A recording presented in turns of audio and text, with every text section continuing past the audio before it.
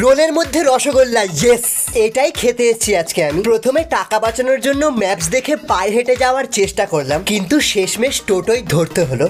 বাস হাওয়া নিকল গই। দোকানে এসেই অর্ডার করে দিলাম রসগোল্লা রোলটা। গরম পরোটায় চারটে রসগোল্লা যাচ্ছে দেখে আমার পেটটা ওখানেই ভরে গেল। কিন্তু আমাকে এটা খেতেই হবে, তাই পেটের শান্তি কামনা করে একটা কামড় বসিয়েই দিলাম। খাওয়ার পর বুঝলাম রসগোল্লাটা মিষ্টি ছিল না, আর এর টেস্টও একটু ডিফারেন্ট ছিল, তাই আমার পেটটাও বেঁচে গেল। আর এই খুশিতেই আমি ফ্রিও টাওয়ার নামে একটা জিনিস অর্ডার করলাম। বেসিক্যালি এটা এক গ্লাস কোল্ড ড্রিঙ্কসের উপর মোমো দিয়ে টাওয়ার বানিয়ে দিয়েছে। গরম জিনিস পাকামো মেরে খেতে গেলাম, তাই আমার টাওয়ারটাই উড়ে গেল। देखा आपने लापरवाही का नतीजा है এবার যা খাবো সব পোড়াই লাগবে আমি একটু ঠান্ডা খাই তোমরা আরো মিনি ব্লগসের জন্য সাবস্ক্রাইব করো বাই